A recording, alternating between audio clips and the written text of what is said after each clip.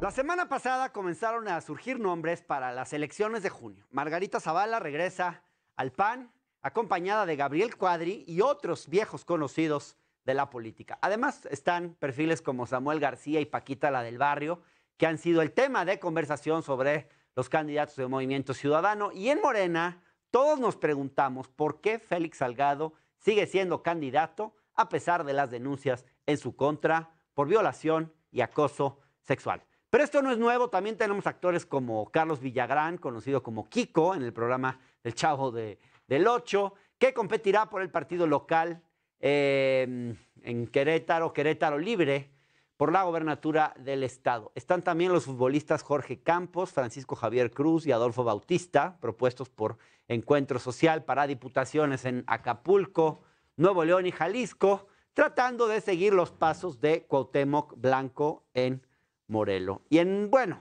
redes sociales progresistas, el partido auspiciado por el Bester Gordillo. Tenemos, por ejemplo, los casos de la boxeadora Mariana Lavardi Juárez y el actor y conductor Alfredo Adame, que buscan una diputación federal, así como los luchadores Blue Demon, eh, Tinieblas y Místico, quienes pretenden conquistar diversas alcaldías en la Ciudad de México. El Partido Verde invitó, por su parte, a participar como candidato a la alcaldía Benito Juárez a la actriz Sujei Abrego. Para hablar sobre este tema, me enlazo ahora con Mariana Gómez del Campo, secretaria de Asuntos Internacionales del PAN, a quien le quiero pedir su opinión sobre estas candidaturas. Mariana, ¿cómo estás?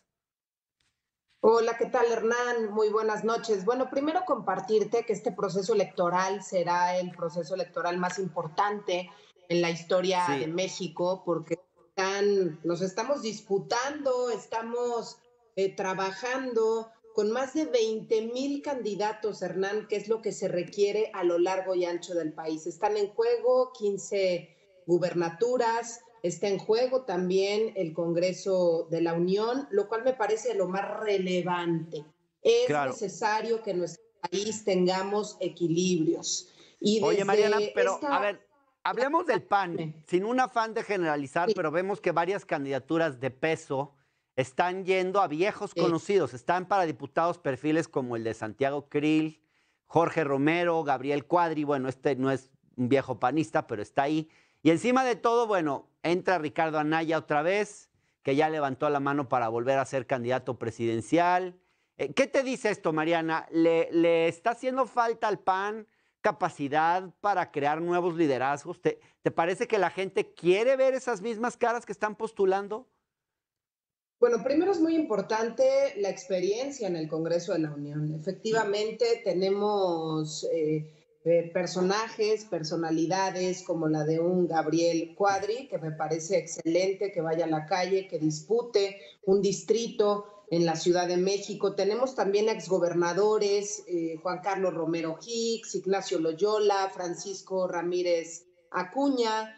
Eh, se trató de hacer en todo momento, Hernán, pues todo lo necesario para que todo aquel que quisiera participar así pudiese ser, ya sea a través de eh, una diputación plurinominal, pero lo más importante, en la calle. Necesitamos salir y conquistar el voto de la gente y sí, sí se requiere experiencia en el Congreso de la Unión. Yo soy una convencida de que se necesitan los equilibrios en este país, equilibrios tanto internos como equilibrios en el país. Mariana, pero perdóname que te detenga. Pero, pero ¿no les parece, por ejemplo, que Margarita Zavala digamos, para muchos representa, Margarita, el pasado al que los mexicanos no quieren volver. No quiero decir que no tenga ideas propias, ni mucho menos que no pueda ser atractiva incluso electoralmente, pero ¿acaso no está ella asociada con un gobierno que es señalado constantemente de haber provocado la situación de violencia por la que hoy atraviesa el país?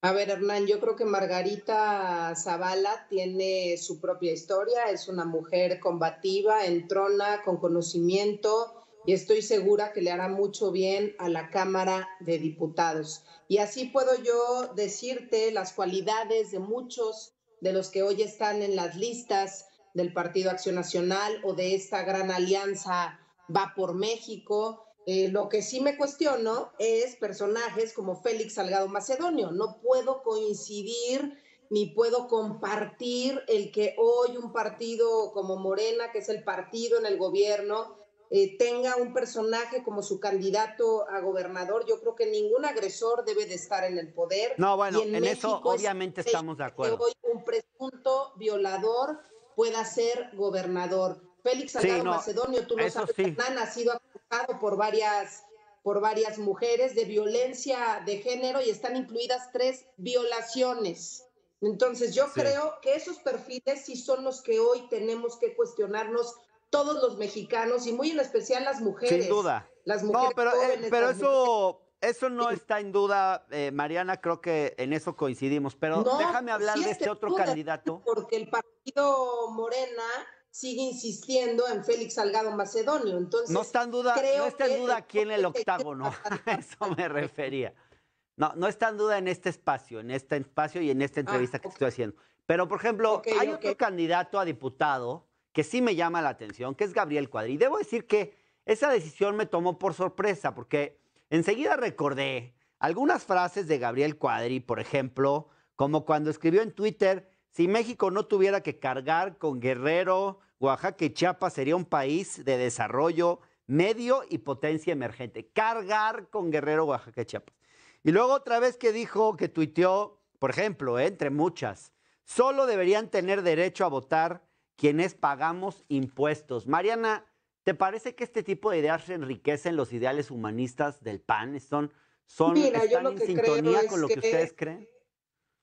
Yo lo que creo es que a veces a uno se le van las cabras en las redes sociales, a veces, eh, creo que sobre todo en el primero ofrecí una disculpa si no mal, no mal recuerdo, no quisiera hablar eh, de más, pero lo que sí, Hernán, eh, Gabriel Cuadri es un hombre preparado, talentoso, es un hombre que estoy segura. ¿Pero qué aporta? ¿Qué aporta este fichaje al PAN? Tan importantes como el cambio climático y todos los temas ambientales que este gobierno ha acabado con el medio ambiente, me parece crucial una voz que tenga esos conocimientos. Si se equivocó, si tuvo errores eh, en determinados tweets, esa es otra historia.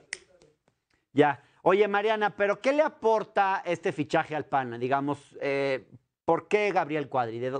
¿A quién se le ocurrió? ¿De dónde sale esta idea de postularlo a él? Porque tampoco es un cuadro del partido. Cuando se están pensando en grandes alianzas, cuando se está pensando además, eh, tú lo sabes, que en sí por México hay casi 600 organizaciones de la sociedad civil, eh, se, se, buscaron impulsar diferentes perfiles, no nada más para la Cámara de Diputados, sino para otras posiciones en el país. Entonces, hay que ser, uno, incluyentes, dos, tratar de buscar a los mejores. Y yo te insisto, Gabriel Cuadri es un personaje que puede aportarle muchísimo a la Cámara de Diputados, sobre todo en los temas, insisto, de cambio climático, medio ambiente, que hoy han sido tan abandonados por este gobierno. Tenemos un tren Maya que está destruyendo la selva. Estoy segura que Gabriel va a ir a defender la selva y va a ir a defender esas causas ambientales. Entonces, ese plus yo se doy a Gabriel Cuadri Hernán. Vale, bueno, yo no. Oye, pasemos a otro tema. La semana pasada, eh, Ricardo Monreal anunció que presentaría una iniciativa para regular redes sociales. No es un tema nuevo, es algo que ha sido ampliamente debatido en varios países de Europa, donde se han, digamos, bajado varios mensajes que incitan al odio o a la violencia de redes sociales. Eh, se han aprobado restricciones en cuanto al uso y manejo de datos personales, etcétera. ¿Ustedes cómo ven el tema, Mariana? Eh, ¿Ven necesario un debate para regular las redes sociales en México? ¿Debe haber límites a la libertad de expresión en redes sociales cuando se trata de mensajes de odio o este tipo de cuestiones?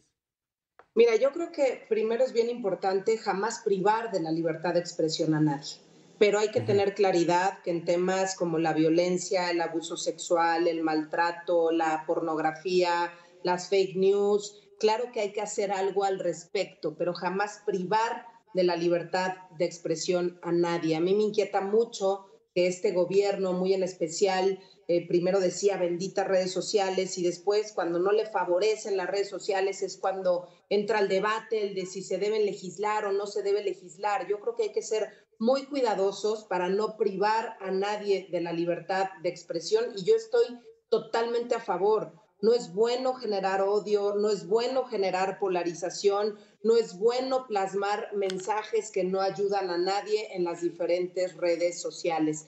Creo que es un debate que es bueno que se discuta, aunque me resulta increíble que en estos momentos sea la prioridad de Morena cuando tenemos a un país que tristemente no ha sido capaz ni siquiera de adquirir las vacunas necesarias para poder vacunar a los mexicanos. Tenemos hoy en nuestro país alrededor de eh, poco más de, de 700 mil personas vacunadas, Hernán, y si tú te comparas con lo que ha venido también ocurriendo en Estados Unidos en los últimos días, estamos hablando de 700 mil vacunas contra 40 millones de vacunas. Algo estamos haciendo mal y este gobierno no rectifica. Ese tema sí debiera ser prioridad en este momento. Bien, Mariana, muchas gracias. Es vacunar a los médicos, a las enfermeras y no pensar hoy en los servidores eh, de la nación, como lo está haciendo el presidente. Primero pensar en ellos en lugar de pensar en todos los que se encuentran en la primera línea de batalla. Y yo creo que en eso tú y yo sí coincidimos, Hernán. Vamos, vamos a escuchar a Abraham Mendieta porque esto iba a ser un debate entre los dos, pero no pudimos enlazarlos. Entonces, ahora si me permites, después de este corte vamos a hablar con Abraham y espero que la próxima semana ya podamos restablecer nuestro debate. Gracias, Mariana. Buenas noches. Puestísima, muchas gracias. Buenas noches. Gracias, vámonos a un corte ya regresamos con Abraham Mendieta.